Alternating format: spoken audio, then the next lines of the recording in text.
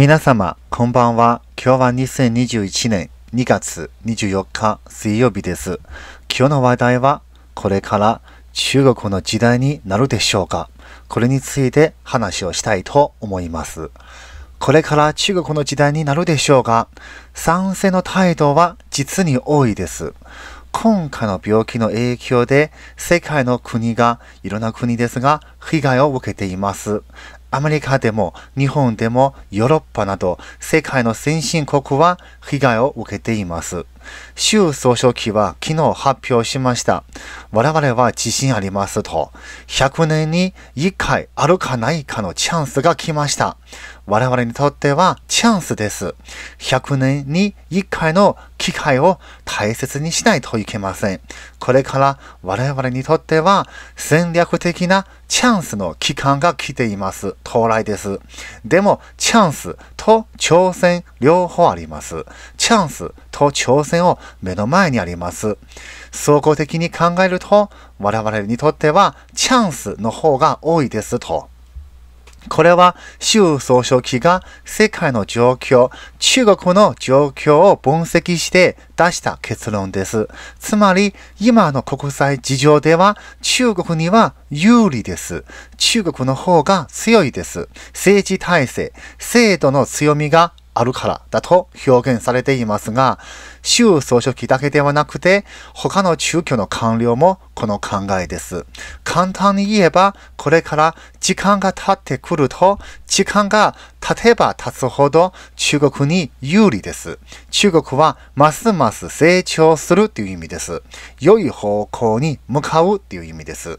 これについては、海外の専門家も賛成の態度が多いです。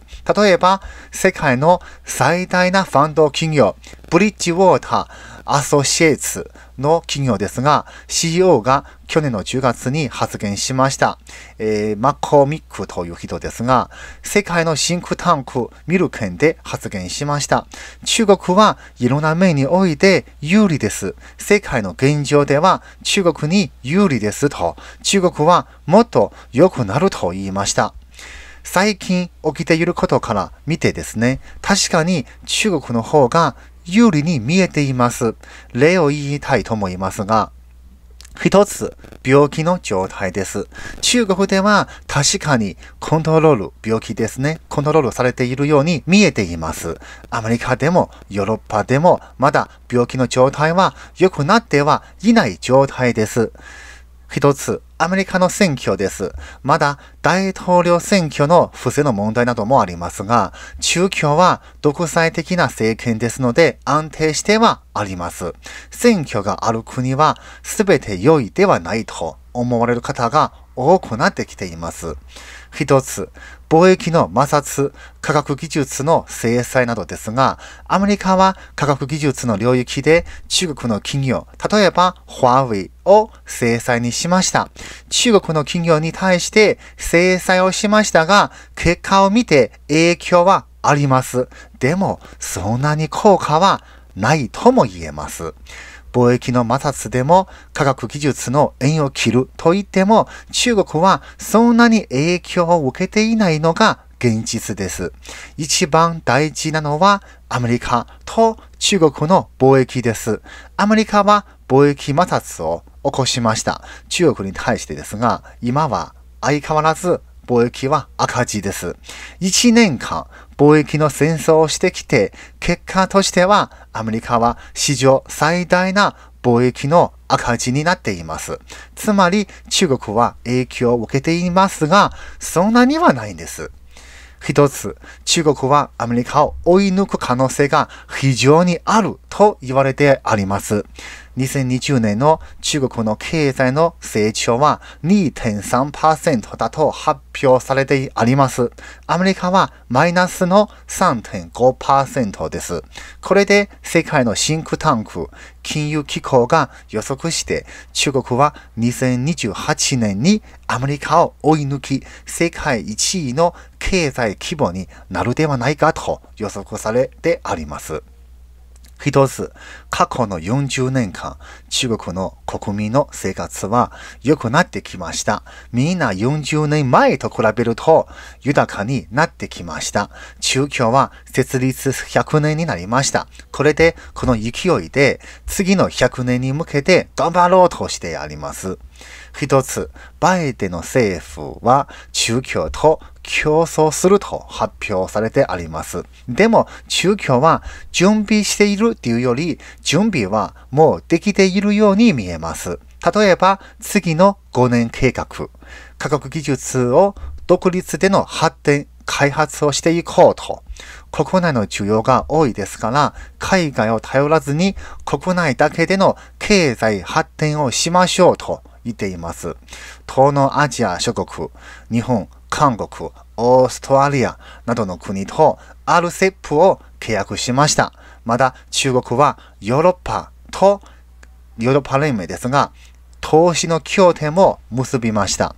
これを見て中国の現状というのはアメリカよりは確かに有利です。RCEP とヨーロッパとの投資協定ですが、とても大事です。貿易の組織ですが、しかし、この貿易の組織には、アメリカの影というのは見えていないんです。これは問題だと思います。一番大事なのは、やはり去年、中国の輸出が成長しました。GDP も成長しましたと。これらの理由を見て、これからは本当に中国の時代になるでしょうかと。ニューヨークタイムズの報道がありましたが、私はまずは賛成します。でも私の考えを言いたいと思います。まず、ニューヨークタイムズの報道の内容を皆様に報告したいと思います。中国の政府は独裁的な政権です。とても強いです。中国が崩壊するには中国の内部の原因で崩壊するでしょう。外部からの攻撃を受けても強いです。中国の指導者たちは世界の事情を考えるとき、まずは外交の戦略を考えています。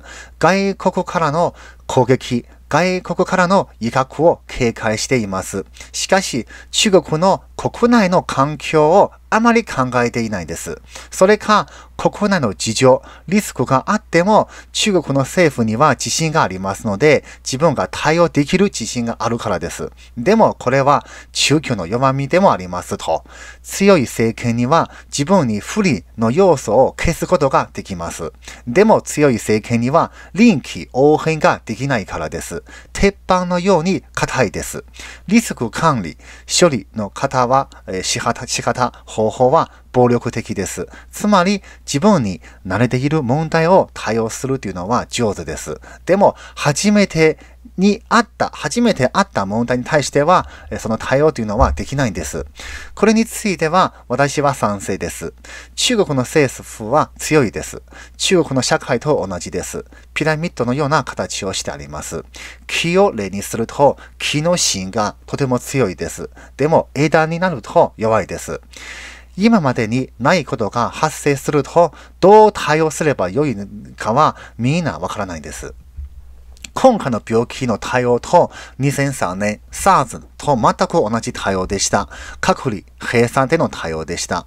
再発防止というのはしないです。また、対応する方法も全く同じです。自分自身の成長はしていないんです。特に病気の初期段階での対応は乱暴、隠蔽の対応でした。これで今回の病気は世界へ蔓延してきました。これが事実です。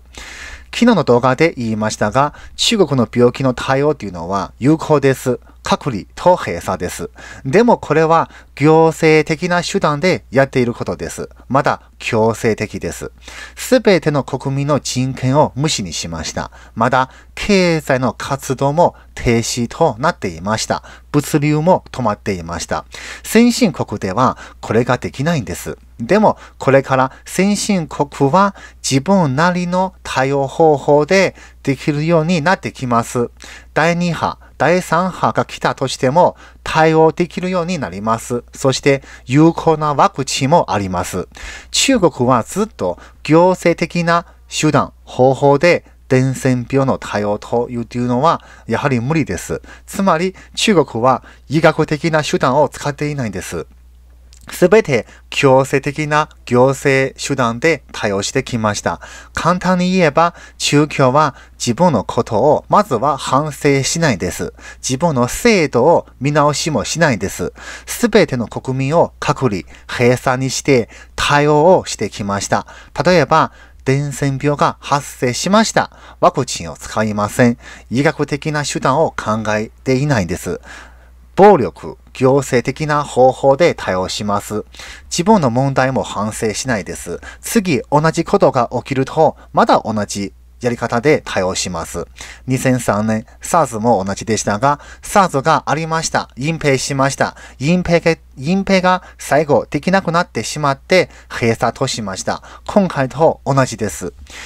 ニューヨークタイムズでの観点ですが、未来の10年、中国の社会が不安定になって、中共に対してデモ、あるいは反乱が起きるより、経済危機が起きるではないかと言われていました。中国は40年間発展してきて、経済危機、えー、にあったことがないんです。経済危機が起きると、中共には対応したことがないんです。経験がないんです。どうして中国は経済危機にあったことがないでしょうか？原因は2つだと言われてあります。1つはグローバル経済、自由の貿易。の世界になっていますので、これは中国には有利ですと。2、中共は、えー、経済をコントロールしているからです。しかし、これからグローバル経済は見直しされる可能性があります。まだアメリカは長期的に中国と対抗するようになります。そして、経済が悪くなると中国は金融緩和をします。これで経済危機の発生を防ぐことができました。でも、もうできなくなってきました。たくさんの紙幣をえー、通貨ですね、発行して、その対価がいつかは支払わないといけないです。中国の不動産が高いです。もし不動産の値段が崩壊すると、中国の経済が崩壊ですと。2008年、アメリカにあったリーマンショックよりもひどいです。これから経済危機が金融危機となり、社会の危機とつながりますと。結果としては、これから中国の時代になることは、なることとは限りませんと。これがニューヨークタイムズの観点です。私は大体ですが賛成です。でも観点はやはり簡単すぎると思います。まずは経済危機金融危機っていうのは中国の社会の危機につながるという意味ではありますが、私は自分の考えを言いたいと思います。まず、中国の経済規模っていうのは大きいです。金融危機、経済危機っていうのは起きるかもしれません。起きないかもしれません。まだ予測実はできないんです。金融危機、あるいは経済危機を予測っていうのは無理なんです。つまり、偶然的に起きた、あるいは突発的に起きたものです。この突発的に起きたことを仮に起きると中国はどうなるかと予測するというのはやはり厳しいです。これから中国の時代になるでしょうかこの問題を見るにはもっと広い目線が必要と思います。3つの観点から言いたいと思います。1つは経済の発展の方向性。2、中国の国内の事情。3、中国とアメリカの関係、または中国と外国との関係、外交について。一つは40年間、中国の経済の成長というのは、6つのエンジンがあります。一つは、基礎施設、つまりインフラの投資です。東南アジアではインフラ施設の状態が良くないから発展は難しいんです。工場があっても商品を生産しても高速道路、運送、港、空港などの体制がまだまだです。つまり工場を作りたくてもできないんです。経済が成長するとともにインフラの投資も必要なんです。経済がどんどん成長する。インフラの投資もどんどん成長、投資していきます。これは良い循環になっていきます。交通、鉄道、八市、エネルギー、例えば電力会社、ガス、水道、電気などですが、すべてはインフラ、施設だと言いますが、やはり継続的に投資をしていきます。これを解決するには財務です。借金です。政府はいっぱい借金をします。でも大丈夫です。なぜなら、経済が成長するので、例えば最初に1億円の借金をしました。インフラに投資をしました。でも、経済は成長していきます。GDP も増えていきます。この1億円っていうのは、当時では大金でした。経済が成長すると、1億円はそんなに多くもないように感じてきます。例えば、不動産をローンで買います。3000万円の不動産を買いました。5年後、不動産の値段が上がりました。収入も増えてきました。当時借りた3000万円っていうのは、そんなに多くもないように感じてきます。これが中国の現状です。でも、インフラの投資っていうのは40年間本当にしてきました。もう十分です。つまり、これ以上作るのは厳しいです。総量的な経済から不存量の経済になります。不存量になってくると、経済が低い成長になってきます。これが先進国の状態です。つまり、日本はこれなんです。もう何でもありなんです。すべてはあります。2、貯蓄です。中国人のお投資よりは実に貯金が好きなんです。でも、好きっていうより貯金しないといけません。自分で自分の老後をやはり自分で自分を面倒を見るという意味ではあります。政府は何もしてくれません。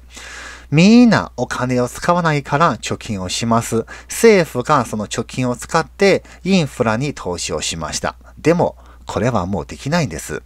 一般市民はみんな借金をして不動産を買っています。みんなローンを抱えてあります。毎月稼いだ給料は全て使い切るっていうのは普通です。3、都会化、あるいは大都会化。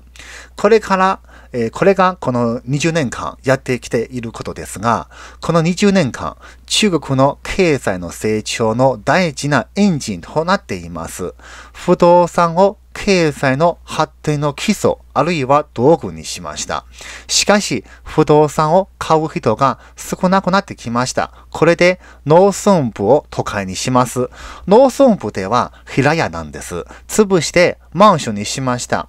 農村部の方は不動産を買うようになってきます。これで不動産の需要が増えてきます。つまり都会化で不動産の需要を推進しました。不動産が経済の発展になりました。この20年間の発展の結果は農村部の若い子がいなくなってきました。都会化っていうのはもう70%が大都会です。農村部はもう老人と子供しかいないんです。まだ不動産はもう高いです。これ以上成長っていうのは厳しいです。4、人口です。この1ヶ月ぐらいですが、私はずっと人口について言ってきましたが、この40年間、中国には安い労働者がいっぱいです。給料も安いです。人権もないです。これが中共の作戦なんです。目標っていうのは世界の工場になることです。たくさんの人口がいて世界の工場になりました。人口が減ると労働者が減ります。世界の工場は労働者がいないと厳しいです。2018年から中国の人口は減りました。減るようになってきました。人口の数っていうのは減ると労働者も減減ります。需要も減ります。経済の規模も縮小していきます。すべて変わります。影響としては、経済の成長はできなくなります。5、グローバル経済ですね。40年前、西洋、日本も同じですが、産業のレベルアップをしていきますと、アメリカが代表的です。世界では経済のグローバル化、貿易の自由化にありました。なってきました。目的は自分の産業のレベルアップです。つまり、環境に良くない単純な産業を第三世界の国に譲って生産してもらうことです。特に中国に流れてきました。なぜなら中国にはたくさんの人口がいます。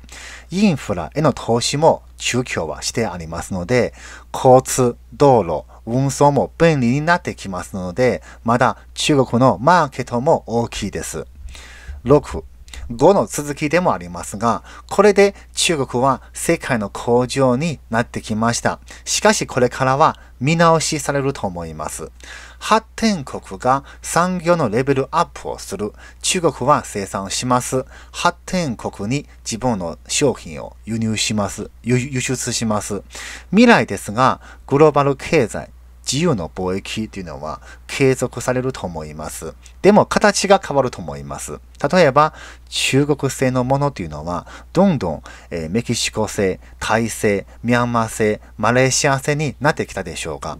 これは中国には痛いんです。なぜなら中国はやはり大きいです。注文がないと今の経済の規模を維持できなくなってしまうんです。そして借金がいっぱいです。以上のことで中国は低いレベルでの経済成長になります。影響は3つありますが、1つはやはり海外からの投資が減ります。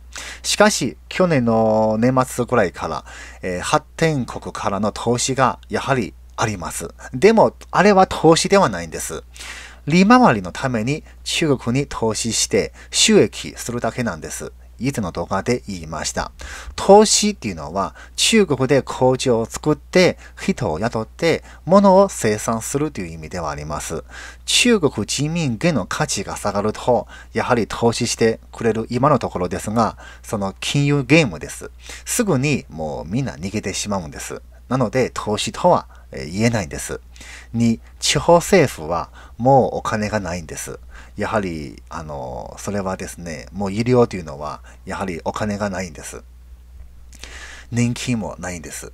お金がないと、地方政府ではお金がないと、インフラの投資ができなくなります。地方政府は土地を売ってマンションを建てます。市民に買ってもらっていました。しかし、儲かったお金が中央政府が取っていきました。シルクロードをやりますと。投資が減ります。物価が上がります。不動産が高いです。需要が減ります。市民はローンで高い不動産を買っています。みんな住宅ローンの返済で精一杯です。これで結果としては好きなものを買うとしても無理なんです。やはり安いものしか買えないんです。これではもうわかるかなと思いますが、日本の方は。中国では偽物いっぱいありますが、これは仕方ないかなと思います。中国人はお金がないから安いものしか買えないからなんです。3、人民元の冷凍です。政府はたくさんの国債を発行できます。でも無償ではないんです。お金の価値がどうなるでしょうか？まだ自分の国の冷凍はどうなるかです。日本の政府は実に保守的なんです。あまり国債とか、あの、むやみに発行しないんです。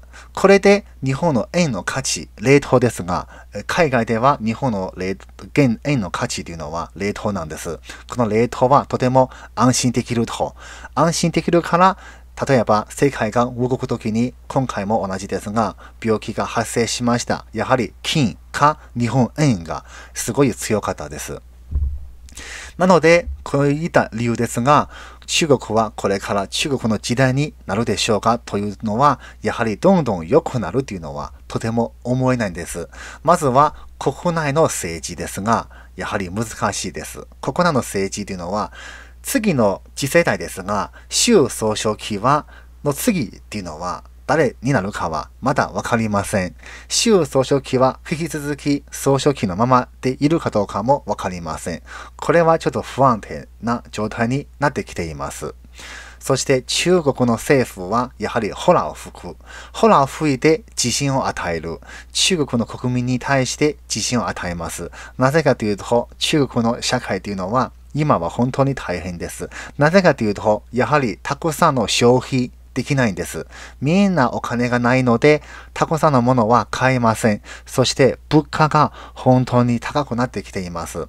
食べ物にしても、どんなものにしても高いんです。ただし、不動産だけ、あの、売買の成立はやはり下がってきています。申請などですが。そして、習総書記は一番大事なのは、習総書記が2012年ですが、総書記になってからおかしくなってきています。今までは改革開放してきました。中国はどんどんどんどんオープンになってきました。海外からも信用してくれるようになってきました。これから正常な国になっていくと、そして安定、安全な国、無害な国になっていくと信じてくれていました。でも、習総書記の、えー、その考えで、あるいは習総書記が改革じゃなくて反改革。つまり昔に戻る、毛沢東の時代に戻るっていう動きをしてあります。これでは中国は全てが崩壊になっていくというふうに思います。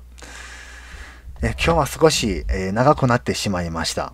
また次の動画ですが、え中国の偽物を作るえそういった動画を、え報道したいと思います。え中国ではですね、そういう、えまあ、業者さんいますので、自分はわざとですね、当然ですが、そういう思いがありますので、えー、そういう思いで、えー、自分が安く安く、そういう偽物のお米とか卵とかそういったものを、えー、開発して、え自分の技術、自分の材料、自分の道具を使って、えできますよと、製造することができますよと、そして、えその、その技術をですね、材料もですが、え買ってくださいと、えそして生産する方法を教えますよと、そうすると、あなたのお店、あるいはあなたの企業、えこれで生産して、あの商売すると儲かるでしょうというふうな宣伝というのは、えありますので、それで皆様に、あの少しずつでではありますが、えこれから報道していきたいというふうに思います。え今日の動画はここまでにしたいと思います。最後になりますが、えいいねのボタンをお願いします。そして、えご友人、えご親戚の方にも、え転送、おすすめの方をお願いしたいと思います。ありがとうございました。